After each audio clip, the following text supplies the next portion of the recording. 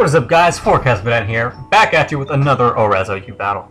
This one's a lot shorter than the last one, but there are still some pretty cool plays that are made in this one, so I decided to upload it. Now, you already know my team, so I'm not going to explain everyone again, but my opponent has some threats. First of all, he has that Mega Sceptile, which is amazing. I love Mega Sceptile so much. Luckily though, Ferrothorn, Volcarona can both wall it while Kyurem Black can easily outspeed it, even when he Mega Evolves. His Talonflame is really his only big threat, but Tyranitar can take care of that as well if he doesn't U-turn on the first turn.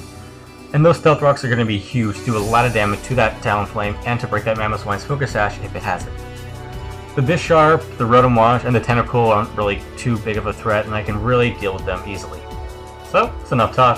Let's get into the battle. I'm going to leave it to Tyranitar because I want those Stealth Rocks up. It does a lot of damage to his Talonflame, and it will break his Mammoth Mamoswine's Focus Sash if he has it. And luckily, the Hydro Pump doesn't do too much damage, which allows me to get up my Stealth Rocks. Now I'm going to switch into my Ferrothorn because Rotom Wash can't do much to Ferrothorn. He ends up just full switching. He goes into his Talonflame, which takes a lot of damage thanks to the Stealth Rocks, which shows me he has the Sitrus Berry. Because he's going to take a lot of damage if he tries to Flare Blitz me, if I stay in with Ferrothorn, I'm going to stay in with Ferrothorn and just go for the Gyro Ball. And now he actually will try to Flare Blitz me, which, thanks to the Rocky Helmet, the, the uh, Recoil, and the Iron Barb, will actually kill himself as well. So if you ever wanted to know how to kill a Talonflame with a Ferrothorn, that's how you do it. Now, Kyurem can't do much of this Tentacool, so I'm going to switch into Latias, because Latias can hit it with Psyshock, which hits it on its really bad physical defense. And so he goes into his Rotom.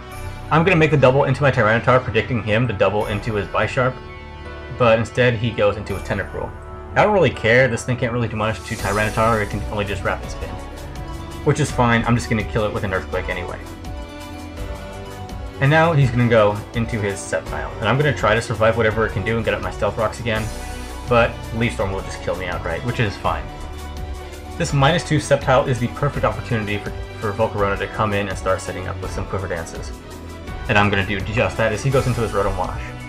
I'm not really scared of this Rotom Wash either, as I can get to plus 2 before he can even Hydro Pump me, which shouldn't do too much damage after the two Quiver Dances. And as you can see, it really doesn't. Volcarona just drinks it up after plus 2. And I know he's going to try to want to Sucker Punch me with his Bisharp, so I'm just going to go for the Bug Buzz, as he does switch into his Bisharp and gets killed instantly. Now his only hope is to try to outspeed me with Sceptile. However, at plus 2, Volcarona outspeeds Sceptile and kills it with the Bug Buzz.